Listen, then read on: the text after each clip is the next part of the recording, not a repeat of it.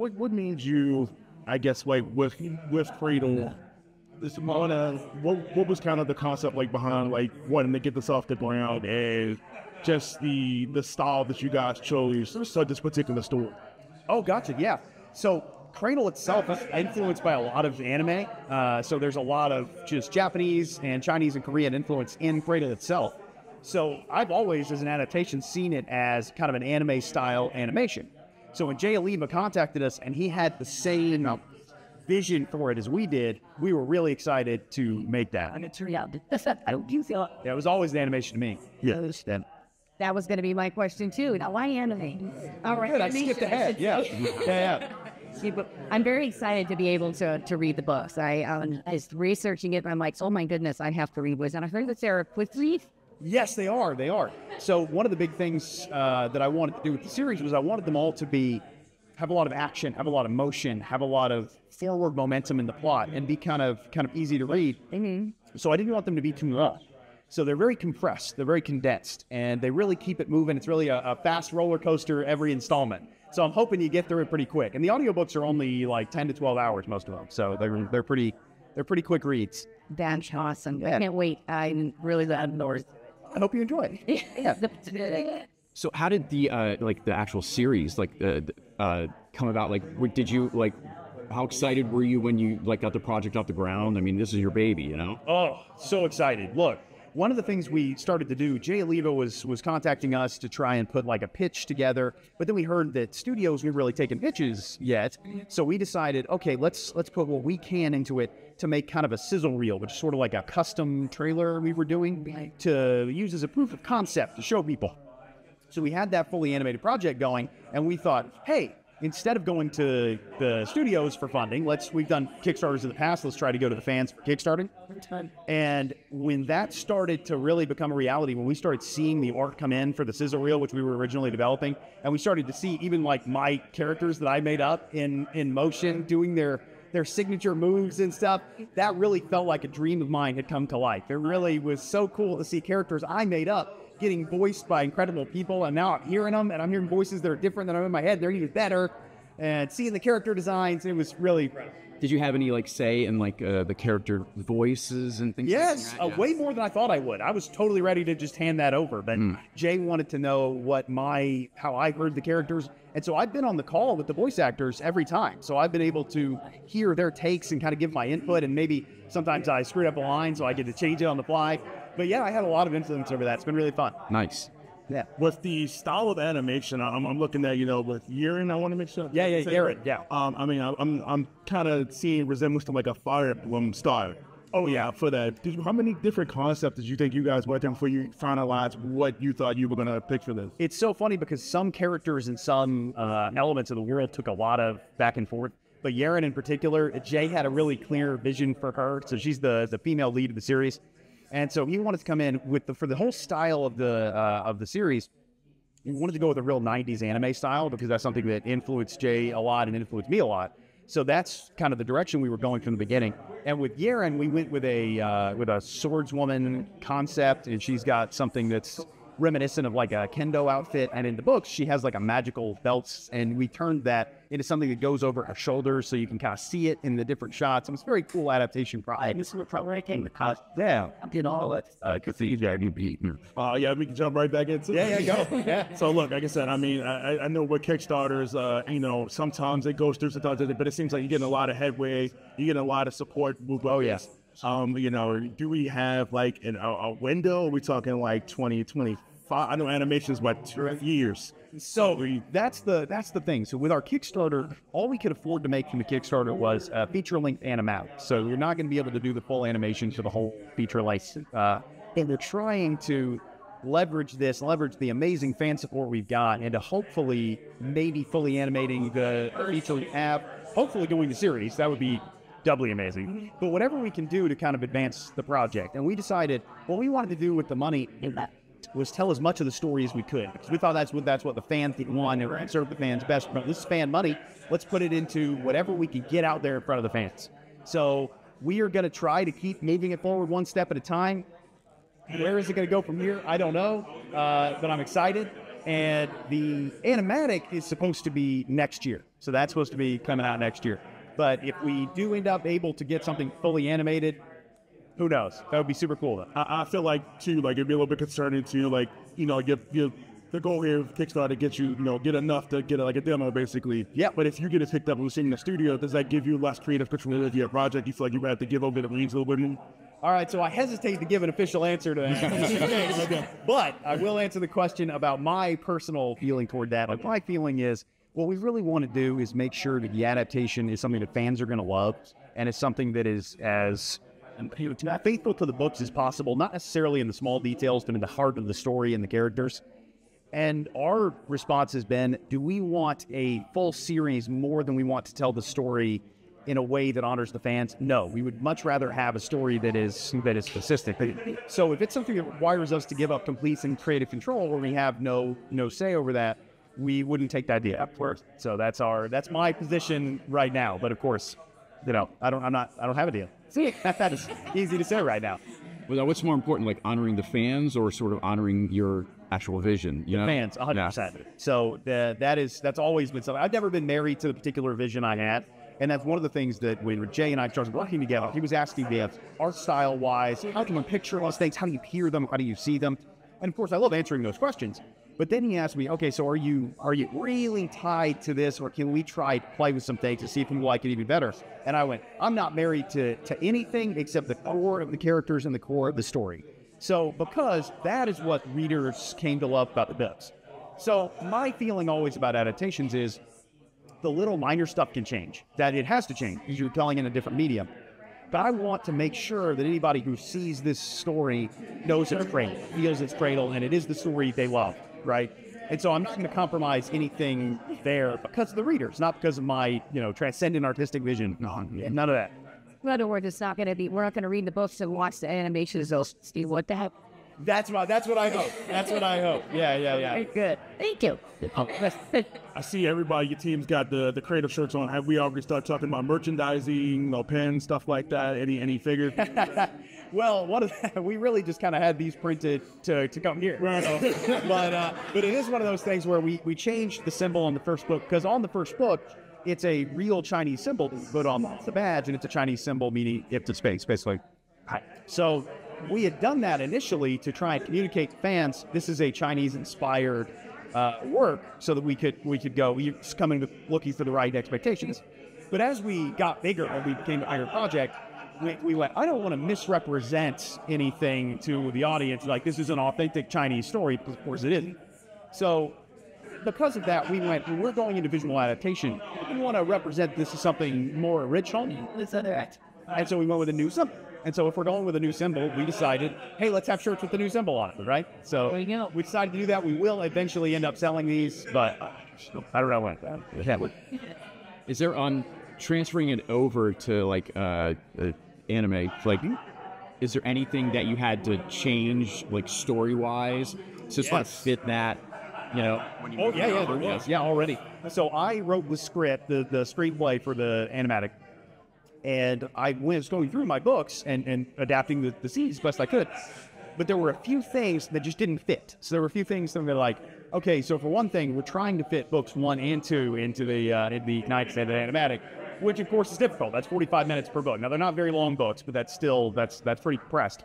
So there were some things that I think were necessary in the book that I, even if I was rewriting the book now, I'd probably leave out. So there's things where I got a chance to do kind of my director's cut version and leave some things I'm cutting for. And there were also some things that, so for instance, in the books, I've talked about this a little bit on YouTube. There was a there are some bully characters, characters who bully the main characters, but I've never liked how bullies are done in movies and TV shows. I felt like it's inauthentic, so I tried to make it a little more nuanced in the book. Well, in the, the animatic, we don't have enough time to do all that nuance, right? So, and effectively, I tried to do as much as I could in the script. And then we had a voice actress come in, and she had such a great bully voice for the character that we had to kind of lean into it. So it's one of those things where it still works for the character and still is coming from the culture, but it's a little different of a, a spin on it than there would be at all.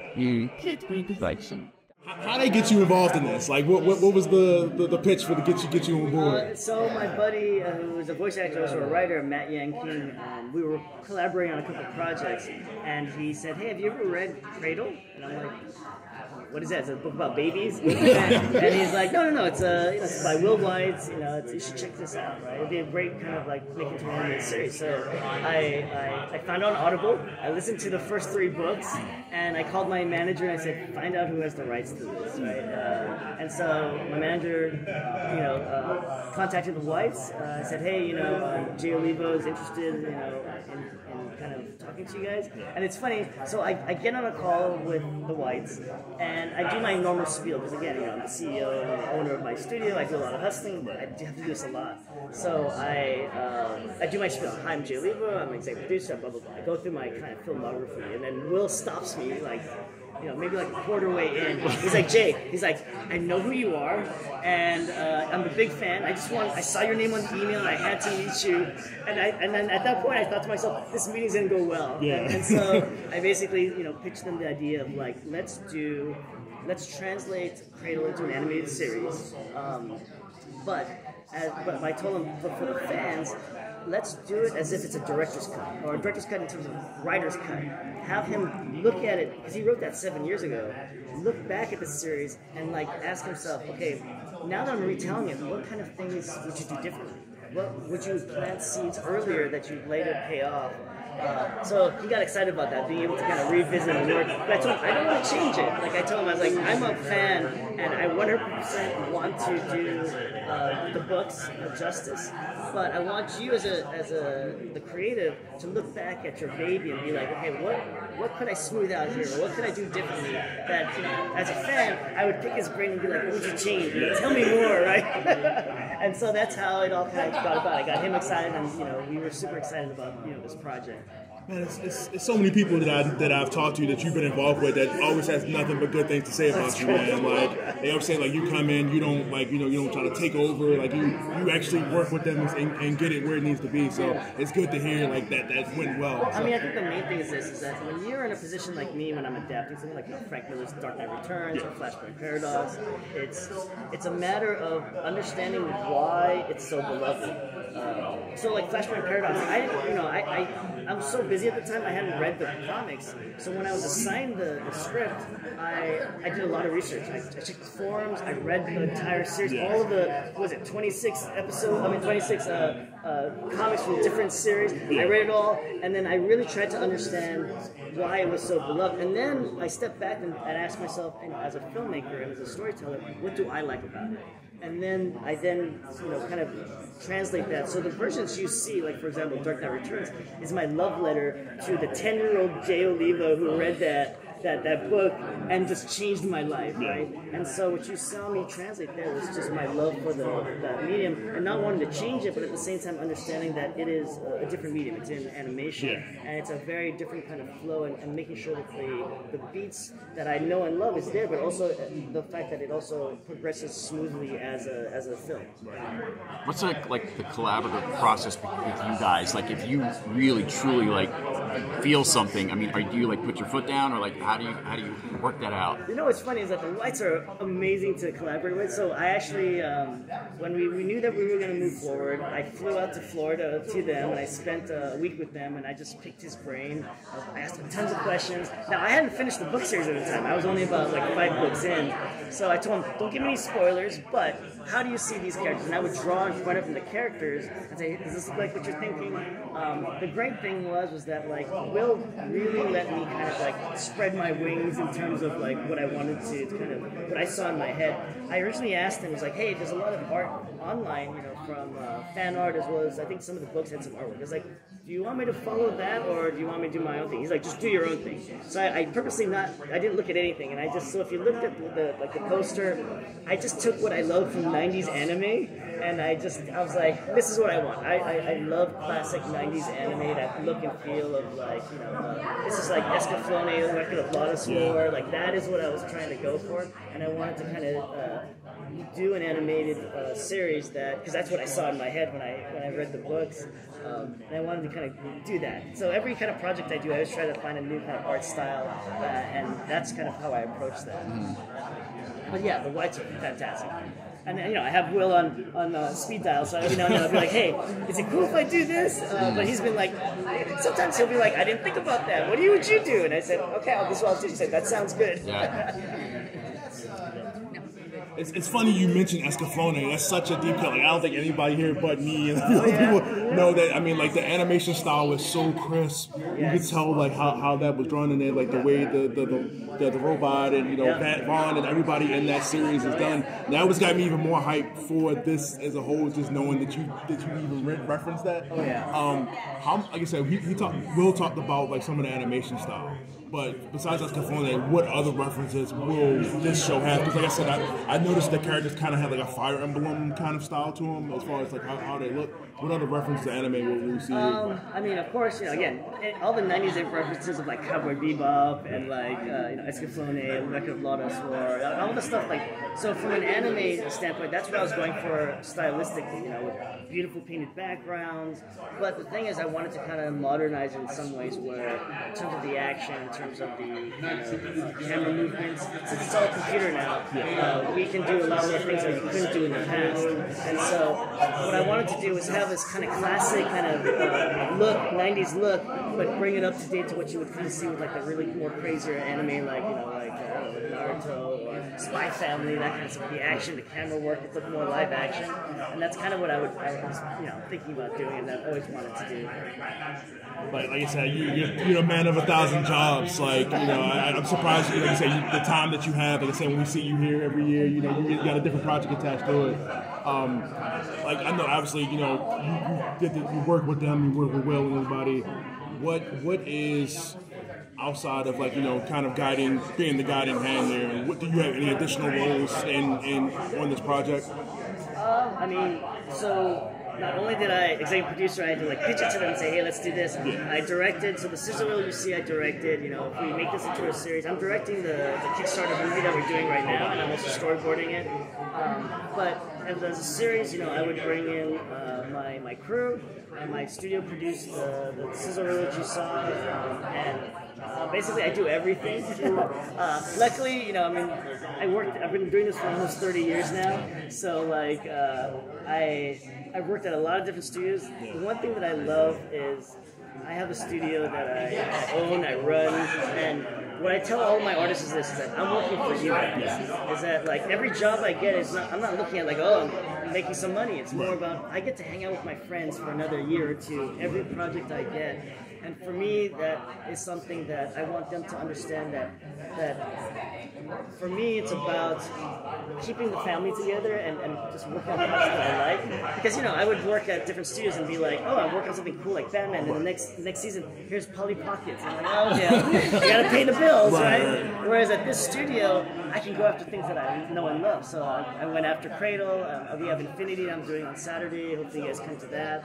Uh, so what's great is that I can pick and choose where, what I wanted to work on, you know, and, and, and I'm kind of like the, I actually have, uh, uh, I'm steering the ship to, to where my career goes, and also all my friends and, my, and the other artists who work with me. You know?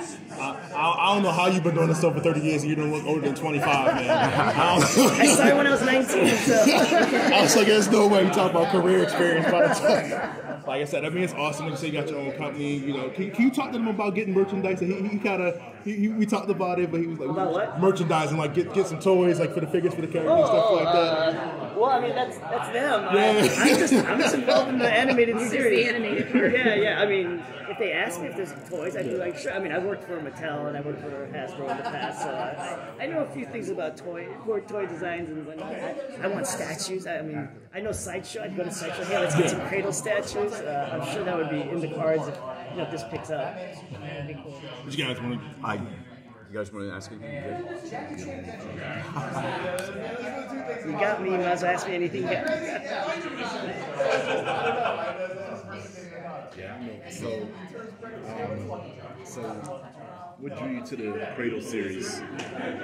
Um, Well, I, I read the books, and I think for me it was the idea that you had a protagonist who had no powers in a world full of everybody having martial arts powers. I thought that was really interesting. And then him realizing that his potential can be unlimited if he just puts his mind to right, and focuses on it. I think to me was something that I think everybody can kind of relate to, you know, because I mean, when I was, you know, like again, I've been doing this for a long time, and uh, if you were to tell the 19-year-old Jay Oliva that, hey, you would own an animation studio and you'd be working with, you know, Marvel and DC and work on all these superheroes things, and then work on, you know, with authors on these books, I would say you are crazy, right? uh, but I think the idea is that I worked very hard in my career over the years, but I was one of those type of people that I didn't be like, I want to be a director. I was, know, like, I want to be the best at what I do, and then hopefully I would get the promotion. And that's what I did. I basically worked every single job all the way up, and, and to me, it's more, I think it's my work ethic about, like, working hard and hopefully, like, that paying off, but not expecting. And I think a lot of people expect it too early. And I tell my artists, because I also teach too. I also, I've been teaching for like 20 years. I tell them my, my kids that um, don't be concerned about getting that promotion. I said be the best that you can be because when you get that promotion, you know, unless you're really good at doing the job underneath you, you're gonna be like deer in the headlights. You'll be scared. Which is why, like when I worked for Zack Snyder on Man of Steel, when Zack called me, I was already doing superhero stuff. I was working. At, I was already working at Warner Brothers, and so I'm doing it with Zack, and I'm thinking, yeah, this is easy, right? Because I've done this a million times. But if I had done this and not done superheroes before, I'd be scared. Ready? Yeah.